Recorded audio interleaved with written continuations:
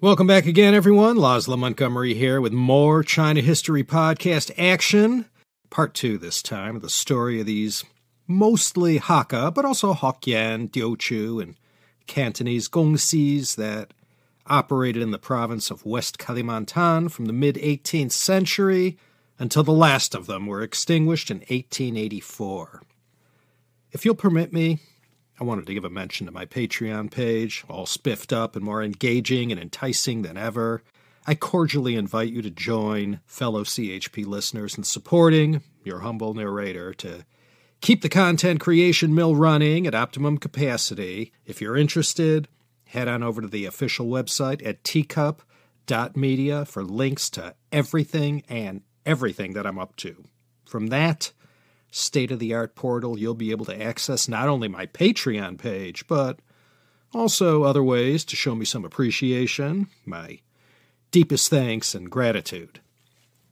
We left off last time with the Dutch abandoning West Borneo during the Napoleonic Wars when the Netherlands had more pressing things on their mind than getting outwitted and outmaneuvered by the Chinese who were working the gold mines of Mandor and Montrado and up in Sambas.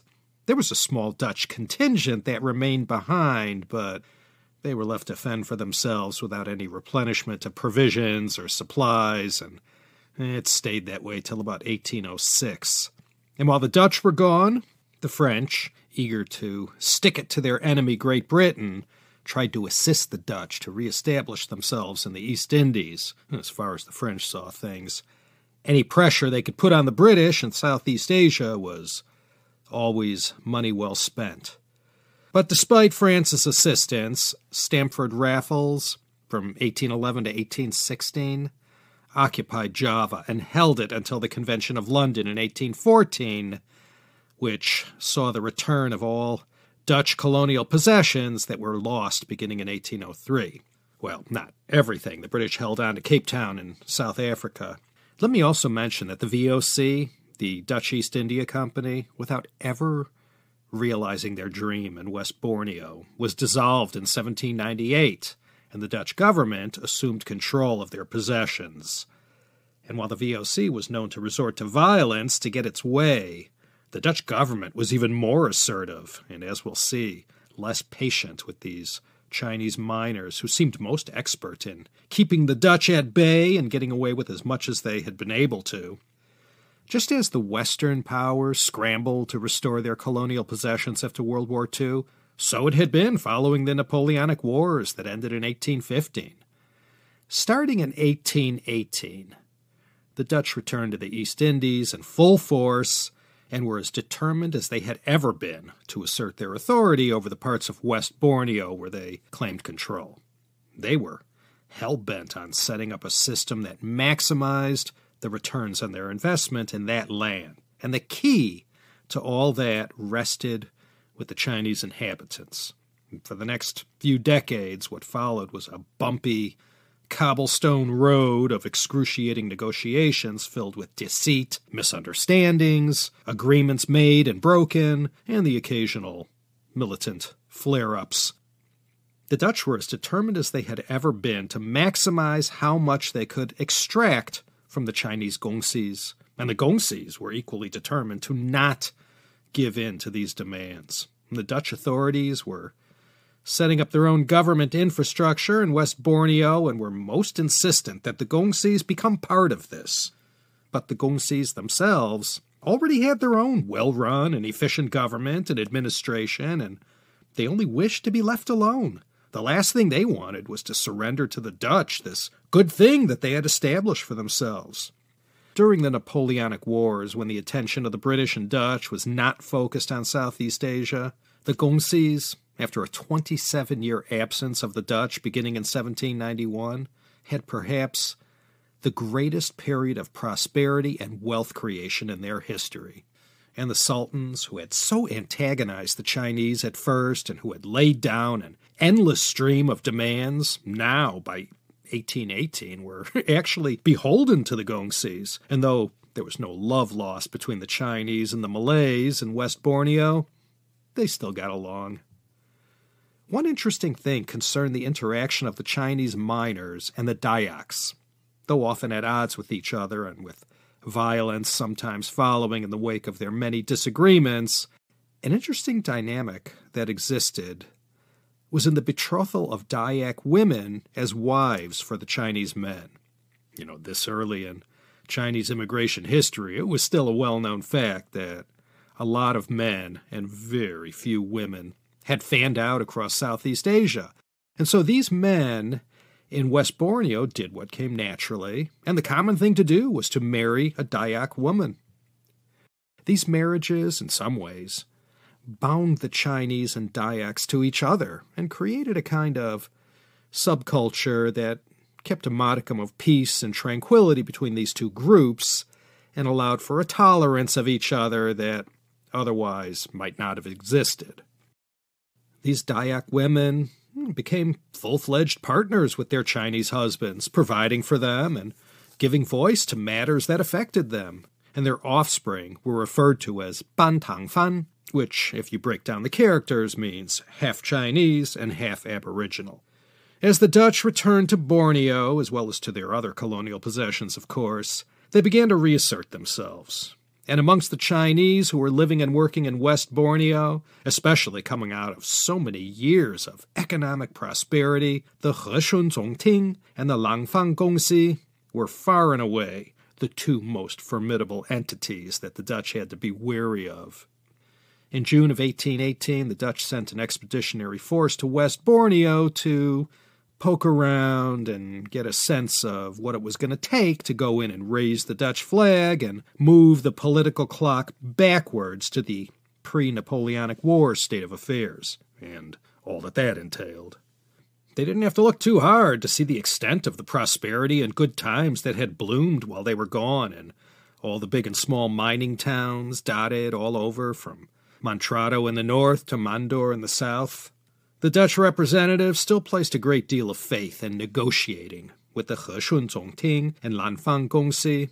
Whenever these rivals met to hash things out, the Dutch were subjected to a whole litany of solemn ceremonies and rituals that had to accompany all the discussions. And to the Dutch, it was a lesson in tedium, but to the miners and their elected leaders, it was deadly serious stuff. And whenever anything was agreed upon, it was formalized with elaborately prepared documents affixed with official Gongsi seals. And more often than not, whatever was agreed upon was never carved in stone.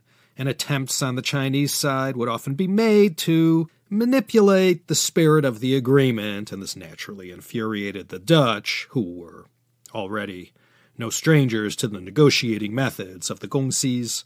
By the 1820s, the population of Chinese in West Borneo had grown to more than 60,000. The ratio of men to women was 10 to 1, with the women always being their Dayak wives. The Dutch were reluctant to play hardball, knowing the Chinese, though not as well equipped as the Dutch soldiers, were still great in numbers. And they decided to be more assertive with what they wanted and use Sambas in the north as the first test case of a poll tax they wanted to levy on the 10,000 or so Chinese who lived within the borders of that sultanate. And to back up their demands, a garrison with 600 Dutch troops was set up there. And the Dutch had made it clear to the ruling sultan there that all Malays and Dayaks were under his authority and control, but the Chinese belonged to the Dutch.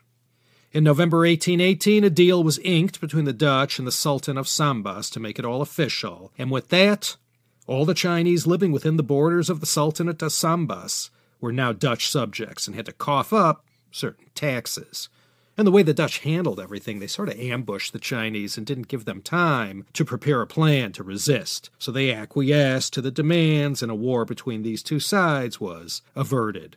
The Dutch believed they were within their rights to demand these taxes of the Chinese. I mean, the way they saw it, the Chinese were clearly better off financially than anyone else. Their gains were often perceived as ill gotten, most often from mining in areas where they didn't have official mining rights, you know, in Malay or Dayak lands. And one other thing that the Chinese were accused of was that most of the wealth they created was simply repatriated back to China and not reinvested in West Borneo. By every indication, there was some very serious economic prosperity happening in West Borneo, and the Dutch, who were carrying out the analysis of the situation, figured out if they rolled this tax out to all the gongsis in West Borneo, a small piece of this abundance added up to a hefty amount in potential taxes, travel permits, import duties, and any number of arbitrary fees. And this would provide ample funding for the Dutch presence there. But despite all the threats and implied violence that might ensue, by April 1819 the Chinese were not coming around, and rather than wait for the Dutch to come at them, they went on the attack. All out warfare erupted after the Chinese were routed following an ambush they carried out against the Dutch fort at Pontianak. And with this out in the open, the Dutch now knew where everything stood, and that there was no longer any need to keep up good appearances. Both sides went straight to the mattresses, and on both sides they now knew this was going to be a long, hard slog. Within the Heshun Zongting, located in Montrado, things were not going as originally planned. This Heshun Alliance, as it was also called, was made up of 14 competing gongsis who agreed to join together as one. But for a number of reasons, bad blood often existed between the rivals within the alliance, and it started to splinter. The most notable event concerned the Santiaogou Gongsi being forced in 1822 to flee the Heshun Zongting after coming up short in their battles with rivals within the alliance, most notably the Dagang Gongsi. The Santiaogou Gongsi was forced to depart the alliance and ended up setting themselves up in the far north in the Sultanate of Sambas. And as far as the Rump Heshun Zongting, they remained in control of their stronghold in Montrado. The Dutch leaders, operating out of Batavia on the island of Java, were dumbfounded about why, after so much time, the revenue spigot was taking so long to start flowing in amounts that were as regular or prodigious as anticipated. It was no secret how economically sound West Borneo had become by the 1820s, and, well, all things considered, the Dutch had very little to show for themselves there.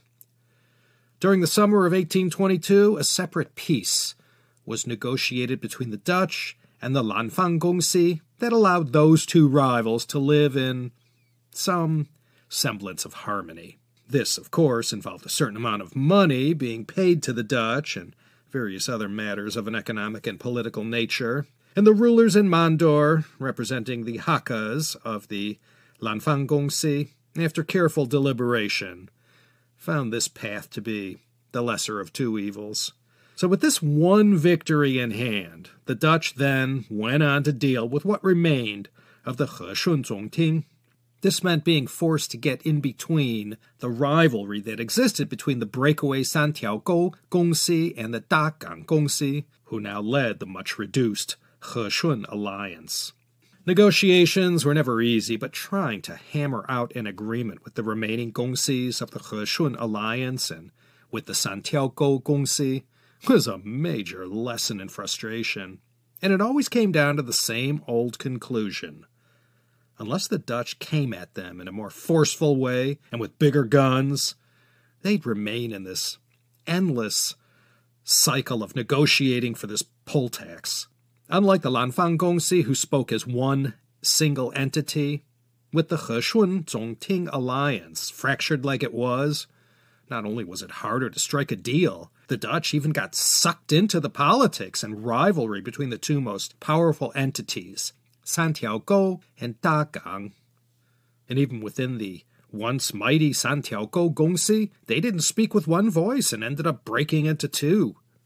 There was another major flare up in August 1824 when the Heshun fighters in Montrado attacked the Dutch at the port of Singkawang and forced them to retreat by sea. Singkawang served as the import export hub for Montrado. Today, most of West Borneo's Hakkas live there at that port in Singkawang.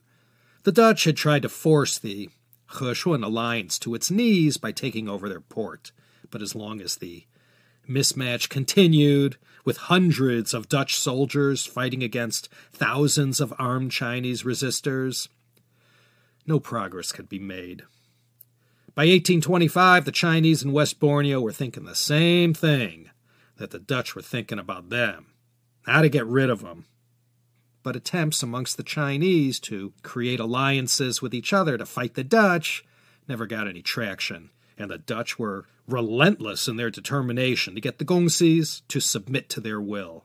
And then suddenly, in 1825, another miracle for the Chinese of West Borneo happened when the Java Wars broke out that tied down the Dutch from 1825 to 1830.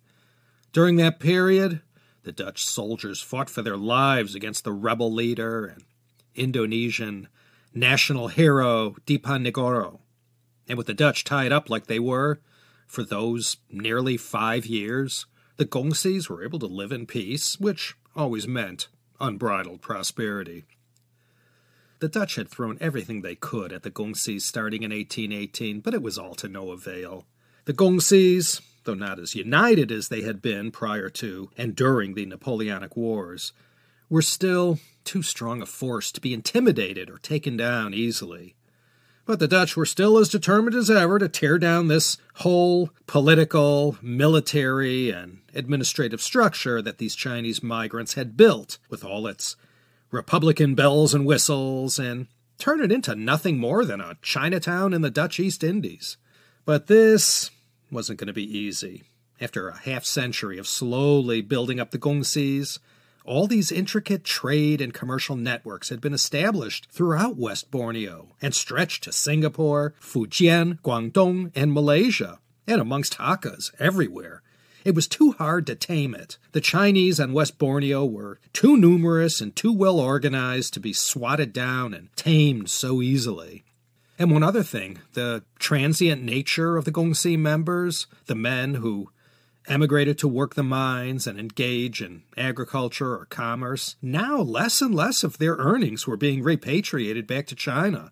By the 1820s, after so many decades, a thriving Chinese community had settled in, many of whom had married Dayak wives with one or two generations of children to their name. And much of the wealth that had been created had been pumped back into the local economy.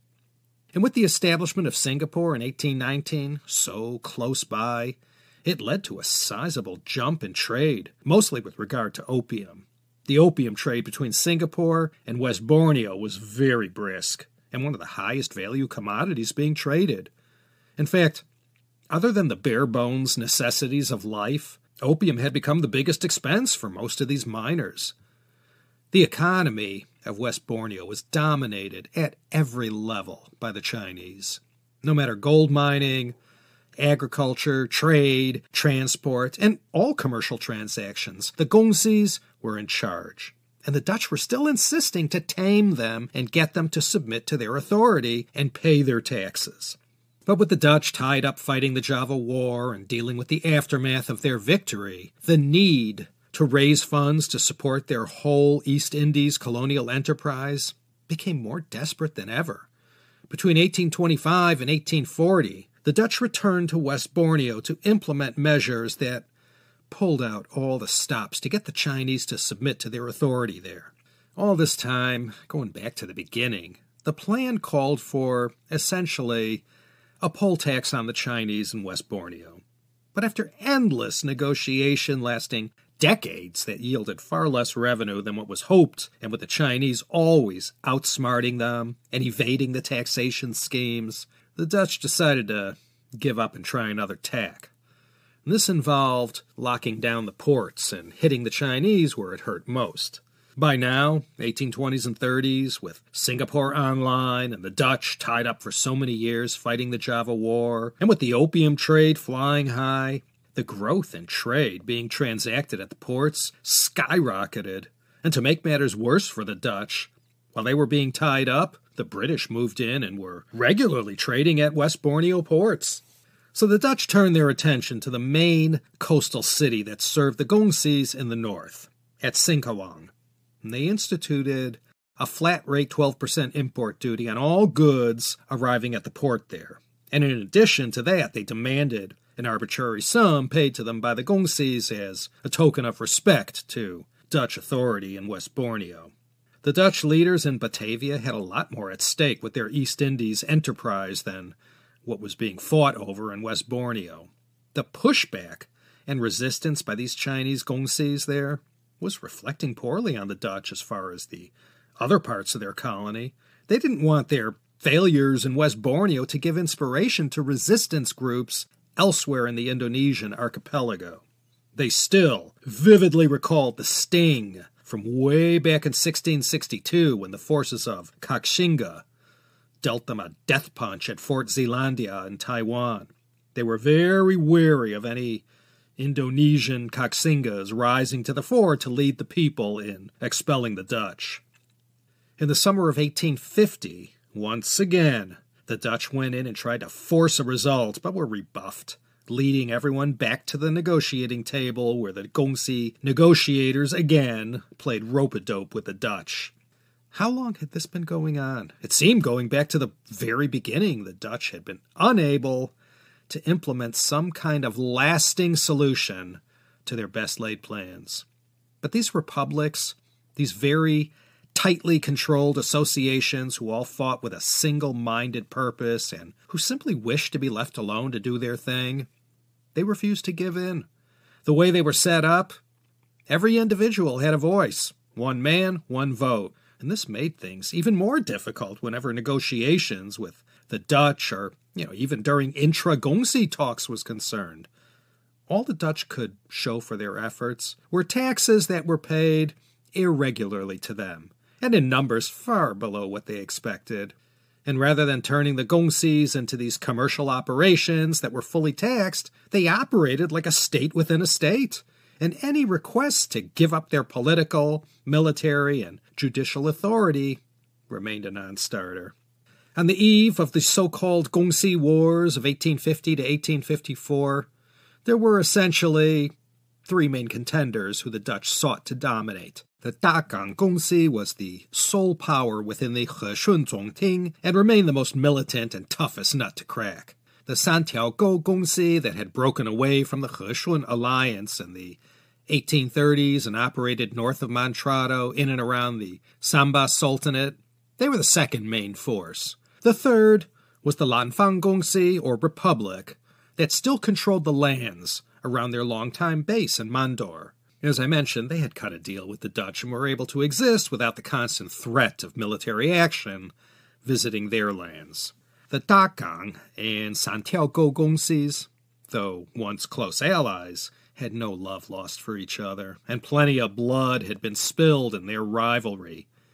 Back in 1822, the Santiaogou Gongsi had tried and failed in an attempt to overcome their Dagang rivals, but ended up suffering a humiliating defeat which forced them to migrate north of Montrado, leaving this stronghold of the once feared Heshun Zongting and ever since then, the bad blood between these two former allies manifested itself in frequent battles and skirmishes, with the Dutch and Malay authorities always getting sucked in and acting as referees, rarely gaining anything of substance for their efforts.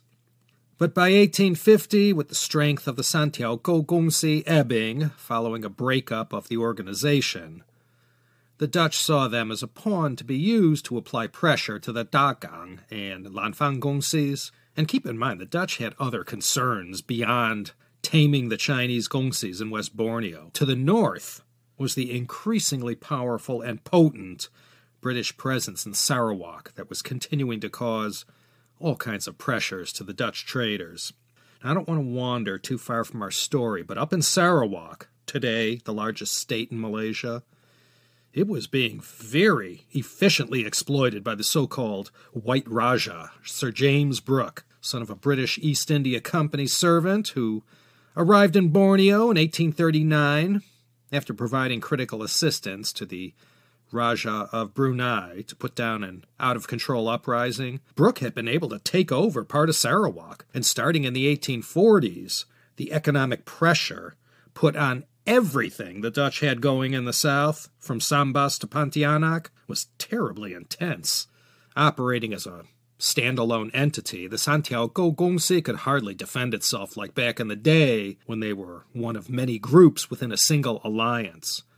By the 1850s, after being pushed around by everyone, keen to use them as a lever to put pressure on the Dagang Gongsi and other Chinese in Montrado. The Santiaogou Gongsi, who had already gone through two name changes and traumas involving their leadership and the direction they should take, simply dissolved, and by 1854 were no more. And the miners, farmers, and businessmen who were associated with Santiaogou went their own separate ways to Sarawak and other parts of Southeast Asia, and no doubt some stayed put in West Borneo, where their descendants live today. What Sir James Brooke had been able to build in the north part of Borneo with his Sarawak operation acted like a dagger to the heart of Dutch trading operations, with its ideal geographic location that perfectly linked the South China Sea, the Malacca Strait, and India for the benefit of the British Empire. The Dutch felt more than ever before, once and for all, they had to secure West Borneo for themselves and either tame it or get rid of these Gongsis who refused to play by Dutch rules, and worst of all, were so eager to engage in all manners of trade with the British in Sarawak and Singapore.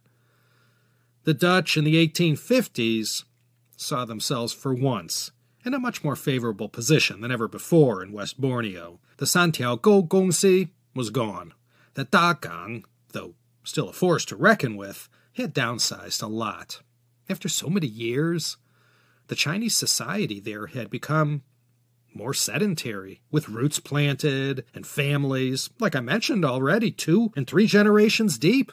The mines had, for the most part by this time, had been stripped bare, and the miners had changed their line of work and become farmers or engaged in the burgeoning trading business.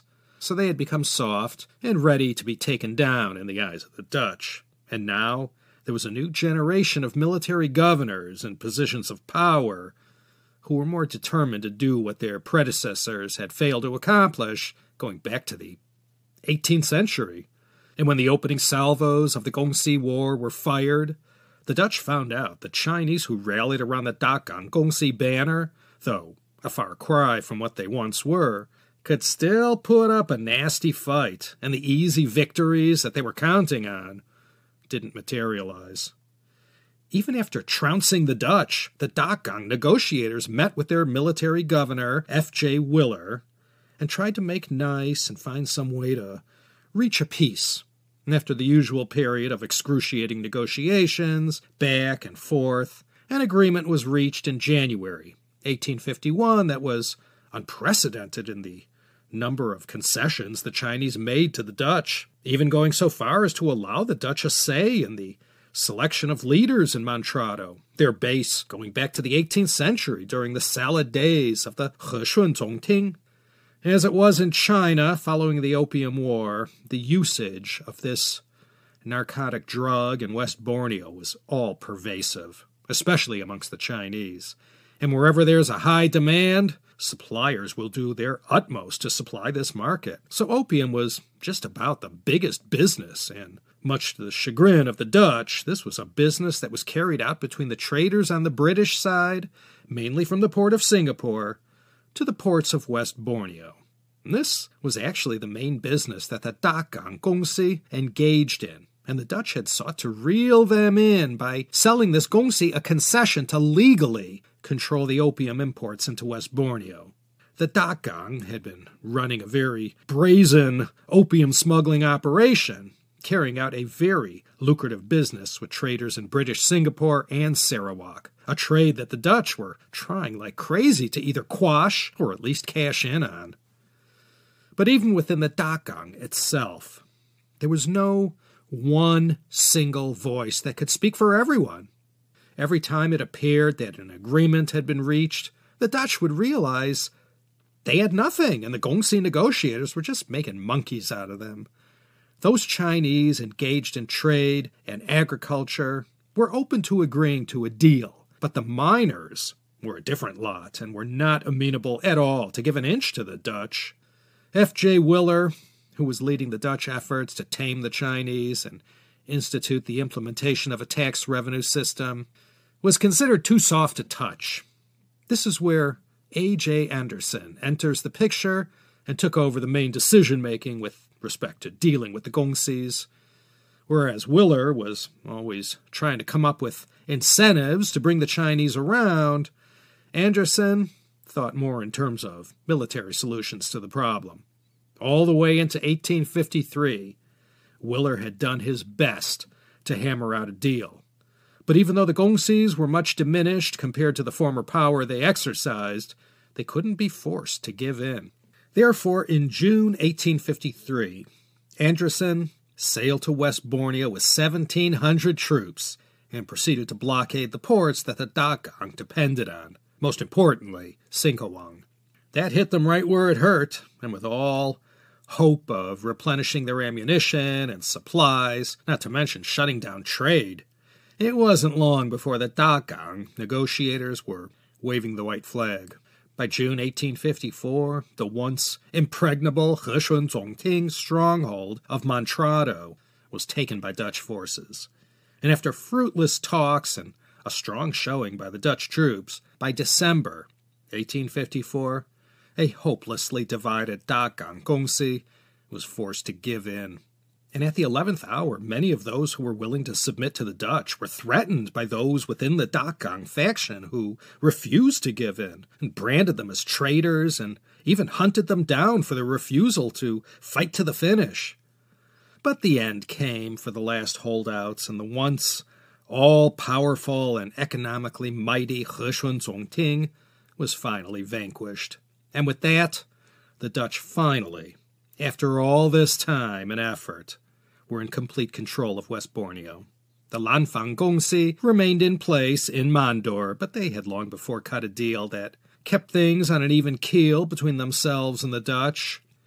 But in 1884, following the death of the longtime head of the Lanfang Gongsi, the Dutch moved in and thwarted any idea of replacing him, and put an end to this Hakka run organization and forced everyone to flee to Singapore, Sarawak, Sumatra, and Malaysia. I read that Singapore's great leader, Lee Kuan Yew's family, came from one of these Hakka families who left West Borneo after the demise of the Lanfang Republic. That's in dispute, I believe. The lands that made up the Lanfang Republic were taken over by the Dutch and passed out to the various sultans of Pontianak, Mempawah, and others. The Hakkas of Mandor had long ago made peace with the Dutch and reluctantly played by their rules, but there was never any love and respect that the two sides had for each other. As I mentioned in part one, there's no shortage of original sources, writings, and colonial records concerning this part of Dutch Indonesian history. Author Wang Taipeng wrote an authoritative work called The Origins of Chinese Gongsi that came out in 1994. He maintained that any attempt to label these gongsis as republics in the Eurocentric sense was misleading. Other than their system of electing their leaders, they were essentially and uniquely Chinese in how they were managed. As much as the notion that they operated like Western democracies is presented, in reality, they were far from it. Wang maintains they were run like any number of brotherhoods or secret societies in China who all shared a common cause or enterprise. The Dutch sinologist Jan Jacob Maria de Groot is perhaps the leading advocate that proffers the notion that these Gongsis were the first real republics. And he referred to them as village republics formed for the purposes of governing their organization. The work I found particularly useful was written by Yuan Bingling, who wrote a very detailed work called Chinese Democracies A Study of the Gongsis of West Borneo. I'll have a link to her book at the show notes. She had concluded that these gongsis were, quote, developed for and shaped by what must have been, for the immigrants themselves, a kind of frontier environment, which transformed their traditional social and political structures into something different from their original models. End quote. Well, if you're interested to learn more about this subject and drill down for more details, there's plenty of surviving documentation waiting for you. Okay, we are deep into extra time here, and I think between these two episodes, you got the main idea. I hope you enjoyed the free geography lesson as well. If this wretched pandemic ever ends, I, for one, hope I could make it over to West Kalimantan to see all this for myself. And let me give a shout out to Alexander, who has been a CHP listener for a long time, downloading from his home in the Sintang Regency, West Kalimantan. Good to have so many friends all over the world. And thanks also to the local people of Kalimantan Barat who have taken in the episode from my YouTube channel and left behind various informative comments. Okay, me little beauties, time to pull down the curtain and pack up. New topic next time that has only been requested for the last 11 years. Finally getting around to it. Until then, this is Laszlo Montgomery signing off from Los Angeles, California, where the stars are buried. See you next time, I hope, for what I'm guaranteeing will be another exciting episode of the China History Podcast.